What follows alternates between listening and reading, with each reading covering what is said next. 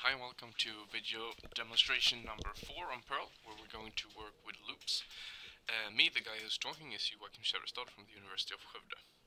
Uh, so I prepared a short script with four different types of loops, uh, while, do while, for each, and for, and we're briefly going to go through the code for those and how they work. Uh, so what a loop is uh, in programming is, as you know, basically a program structure where you want to uh, that you can use when you want to repeat a code a predetermined number of times or as long as something is true. So, for instance, you may have a check somewhere in your code. You want to check if the user does something correct or if a number is a predetermined value or something like that, and then you can execute code uh, as long as that is, is true or until something gets false. Uh, so the easiest way to implement this is that you have a variable containing uh, some kind of number and then you do a loop and you say that as long as this number is something or as long as this number is over or under something you're going to execute a code. Uh, and then of course you have to do something within the code so that the control variable or the, the, the variable holding this number has to change at some time, otherwise there will be an infinite loop and that's going to uh, break your program. Uh, so if we start with looking at the while loop, it's quite simple. Uh, the syntax for it is just while, and then what we call a condition, and then the code. So what this actually say is that while the condition here is true, so in this case, as long as the variable dollar $while is 1, then this code is going to be executed. And what it does is that it prints uh, the string some code and then it increments the variable dollar $while by 1. So dollar $while plus plus, that means that we're going to take whatever is in dollar $while and we're going to add 1. So looking at the top of my little program here, I've declared a variable called while and I've declared it and assigned the number 1 to it. So from the beginning, uh, while should be equal to 1 and this thus this condition should be true and this co code should be executed and since I am incrementing the variable um, it's going to be 2 and then this condition will not be true anymore so this code should only run once. And I guess we'll go right ahead and try to run it. Uh, so perl loops underscore vars dot pl and we go. And you can see that it outputs some code and does it once. Uh, if I were to set it to 2 from the beginning, then the then the variable or this condition would be false from the beginning. So now it shouldn't execute some code at all, uh, and it doesn't. So that's basically how the while loops works. It says while this condition is true, execute this code. Um, and if you want to, I can just show you what happens if, if I remove this and reset my variable to 1 from the beginning. Now, what's going to happen is that we go we have the variable while that is 1, and we have our loop while uh, while dollar $while is 1, do some code, and now since we're not doing any changes to our control variable dollar dollar $while, this code should run forever. So let's try it. And you see that it just executes and executes and executes until I hit Control C and it's gone. Um, and there are of course a load loads of other tests that you can do. So if we get our control variable back, I can say as long as dollar $while is uh, bigger than one, then we're going to run. Or as long as yeah, as long as it's bigger than one, um, and that's going to be bad. Let's say as long as it's smaller than 5 it's going to run and what should happen now is that the first time it goes uh, the dollar while variable starts starts at 1 so the first time that we get to this condition check we're going to see that while dollar $while is under 5 uh, what is it? It's 1 so yes it will be under 5 we're going to execute the code. We're incrementing the variable by, by, one, by 1 so it's going to be 2 then we do everything again. It's going to still be true because the dollar $while variable is 2 and so on and so forth until the, the dollar $while variable reaches 5. So if I'm counting things correctly, we should now print some code four times, right? Uh, and that's what we do. So that's, uh, in essence, the while loop. Uh, I'm going to comment that away, uh, and I'm going to show you a similar loop, which is called do while. Uh, so for this, I have uh, a do while variable here that's, that is set to zero and how this variable works is uh, that it says do and then while and it's and it does the code that is written directly after do once. It always does it once because the condition check is at the end. So it's going to see, okay, it's do, so we have a do while variable. What's the code? Okay, we're going to print do while and increment the do while, do while variable. And then we're going to do a condition check. And if the condition is true, then we're going to run the code again. Uh, the big difference here is that do while loop uh, is always ex executed at least once. Uh, so let's just show you this by setting the do while variable here to something that is very false. Uh, and you see that it should run again if the do while variable is 1. So uh, now we're going to run run this and you see that I forgot to save. And you see that even if the control variable do while is far from 1, it still runs the code once. Uh, however, if I set the do while variable to 0, you can see here that what's going to happen is that it's going to execute the code uh, and it's going to increment the do while variable and the do while variable is going to be 1 which is our condition. So when it comes to the condition check at the end it's going to evaluate this to true. So now it should run twice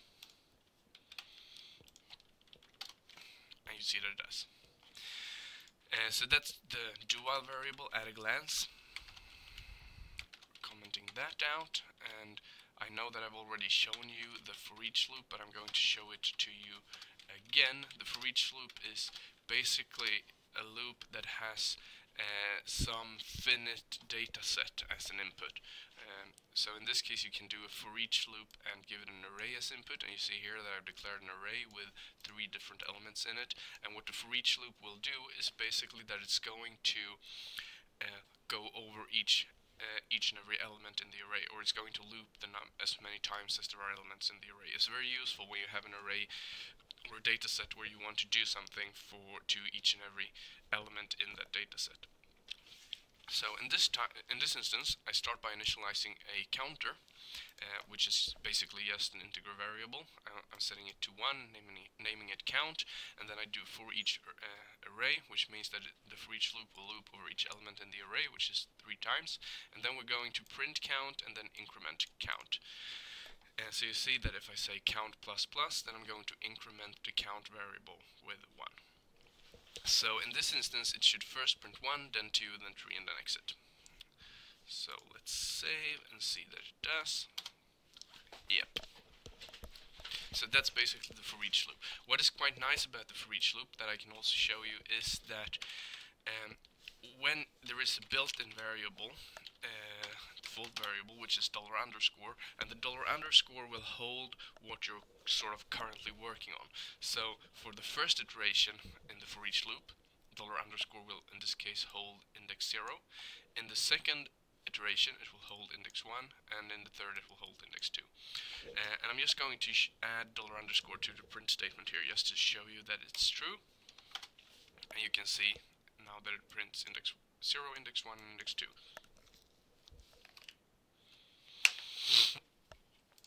So that's the for each loop, and I finally want to show you um, the for loop. Uh, the for loop is another loop that it's a little bit special, and you can see here that the condition uh, within the parentheses here is much longer.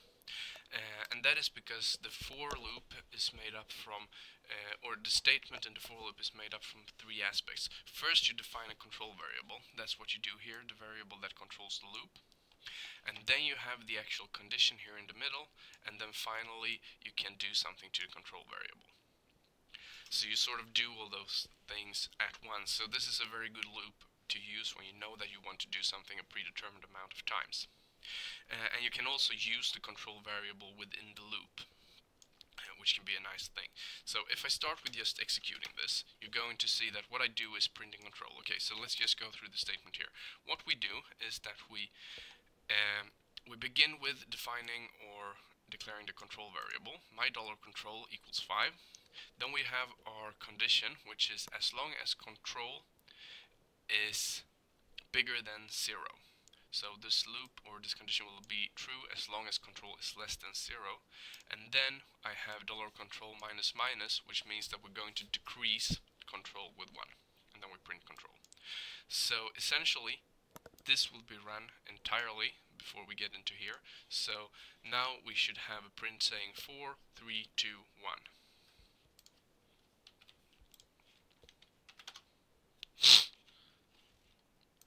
Okay, actually it doesn't, so it begins it, it begins printing on 5.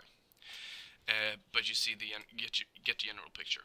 So this is very useful when you need to do something a predetermined amount of time. So in so in this case, I'm saying that whatever is in here will be executed five times, and I do that by declaring a variable. Then I have my condition, and then I do something to the control variable. Uh, something that I also want to show you is the difference between local and global variables. So what you call a global variable, that's a variable that you can use within your entire program. Uh, so what I declare up here are variables that I declared uh, declare sort of in in my main program, if you will, or I declare it in the default uh, default data structure. Uh, and what we do when we do a loop like this with the curly brackets is that we create a new a new data set or a new code block and if I declare a variable within a code block like so, then it's going to be local to that code block. So I just want to show you what happens here if I want to print dollar $control outside of that code block.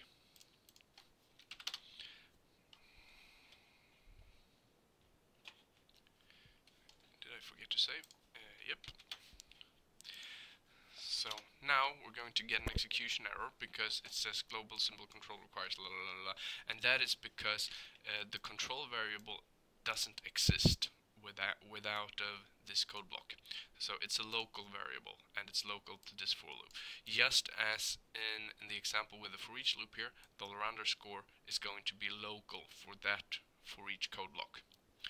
Uh, so that's a short one on global and local variables, and it's something to just make sure that you you are in control of. Um, so you don't uh, do just a bunch. I mean, if I'm going to modify or if I'm going to uh, declare the control variable out here, and then I'm going to do something to it right here, which I do, and then, I'm, then I can use it again, but then I won't be in full control of what its value is. So you should be in control of your variables and know if they're local or.